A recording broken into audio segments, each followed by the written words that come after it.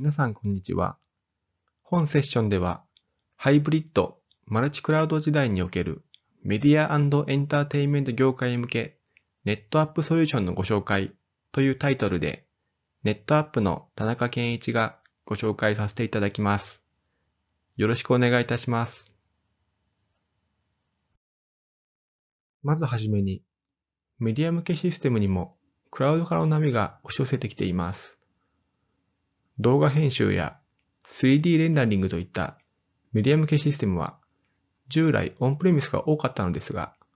近年はクラウドの利用が増えてきています。クラウドの利点であるデータのアクセス性やコラボレーション、地域を超えたコンテンツの配信、さらには拡張性や柔軟性を活かしてメディアビジネスを拡大することができます。ただ一方で、オンプレミスのシステムもまだまだ必要です。急にすべてのシステムをクラウドに変更するのは難しく、データの保管コストや可用性、耐久性の点やデータ送出の際のデータのロケーションやパフォーマンスの観点でオンプレミスが秀でている面があります。お客様のビジネスの目標に合わせてやりたいことに応じてオンプレミスとクラウドを柔軟に使い分けることが大切になります。ネットアップはデータマネジメントベンダーのリーディングカンパニーとして、あらゆる規模の企業のデータの保存、管理、保護をサポートし、ハイブリッドクラウド、マルチクラウドがメディア企業の強みとなるように支援しています。ハイブリッドクラウドにおけるネットアップのソリューションをご紹介いたします。それでは、メディアワークフローにおけるネットアップの製品ポートフォリオをご紹介いたします。あらゆるメディアワークフローに対応し、どこからでもコンテンツにアクセスできるデータファブリックというネットアップのビジョンのもとに様々な製品群をご用意しています。オンプレミスの製品群は、ストレージ専用 OS、オンタップを搭載した NAS ストレージ、E シリーズ、EF シリーズと呼ばれる SAN ストレージ、ストレージグリッドのオブジェクトストレージがございます。オンタップ NAS システムは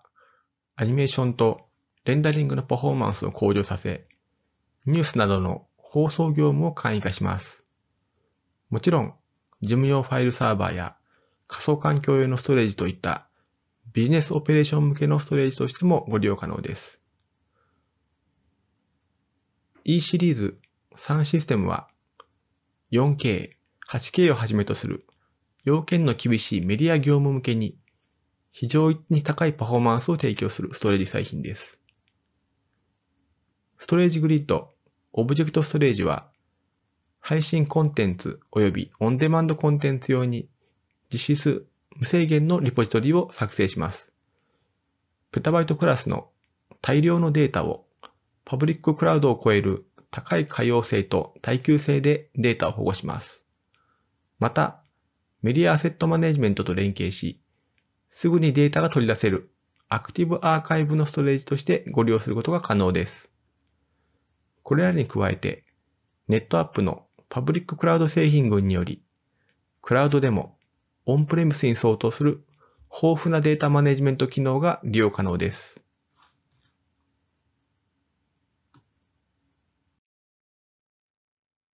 これらの製品群に対して、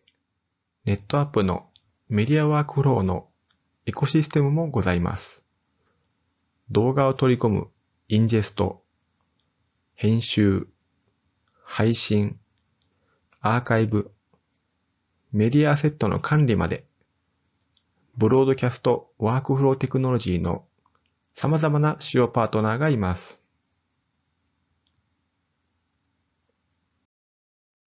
ここからは、オンプレミスにおけるメディアエンターテインメントの事例を3つご紹介いたします。1つ目は、ドリームワークス様です。ドリームワークス様では、アニメーションやレンダリングの用途として、オールフラッシュファスやファスをご利用いただいています。一つのボリュームに 4KB から TB までの50億ファイル以上のファイルを格納し、カスタムモデリングや特殊効果、アニメーション、ライティング、レンダリングのアプリケーションを動作させています。容量は 12PB 以上のデータをネットアップに保管しています。効果としては、2、3倍の速度向上、レイテンシーが低減され、CG アーティストの待ち時間が削減されました。また、オールフラッシュの導入により、消費電力と冷却コストも削減することができました。また、オンタップにより、効率的なパフォーマンスの拡張と無停止のアップグレードも実現しています。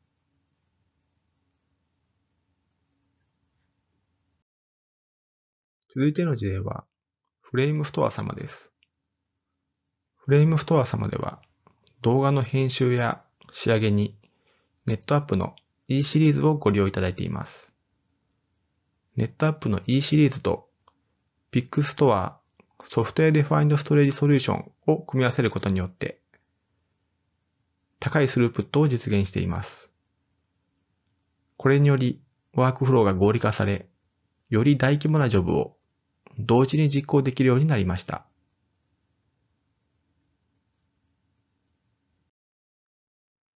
続いての事例は、プロジーベンサット様です。プロジーベンサット様は、動画の配信やアーカイブにネットアップのストレージグリッドをご利用いただいています。導入当初、ストレージグリッドはアプライアンス54台物理容量 27PB で導入いただきましたが、増強を重ね、2021年時点で、アプライアンス84台、物理 38PB まで拡張しています。このストレージグリッドとメディアアセットマネージメントアプリケーションを活用することで、アクティブアーカイブ向けのシステムとしてご利用しています。これにより、アーカイブアクセスが以前テープを使っていた頃と比べて5倍高速化されました。さらに外部クラウドも活用した自動アーカイブポリシーを利用してさらなる TCO も削減することができました。それでは、ここからはパブリッククラウドにおけるメディアワークフローについて話を移します。AWS、Azure、Google それぞれがメディア向けにサービスを提供しており、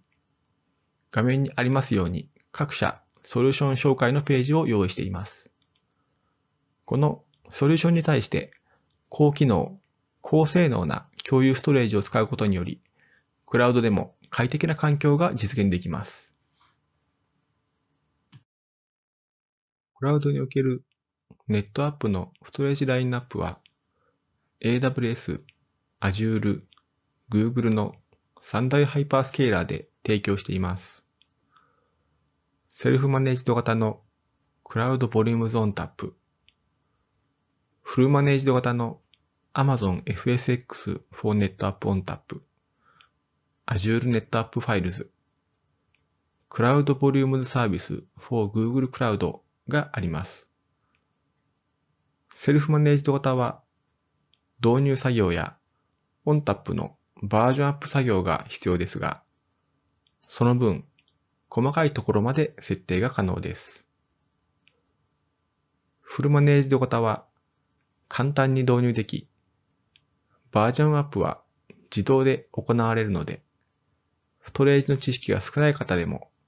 簡単にONTAP のテクノロジーをベースにしたストレージソリューションが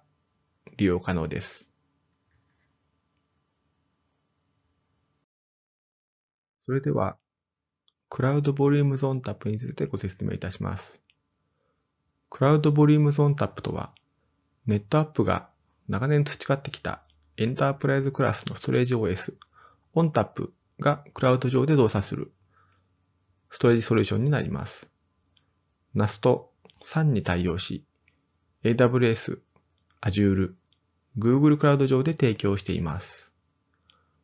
ONTAP を搭載したオンプレミスのハードウェアアプライアンス製品とほぼ同等の機能を提供しています。これにより、重複排除や圧縮と呼ばれるストレージ効率化機能により、ストレージ効率ストレージのコストを削減できます。また、階層化の機能により、使わないデータはオブジェクトストレージに階層化することができます。また、OnTap のレプリケーション機能であるスナップミラーを使用して、ハイブリッド、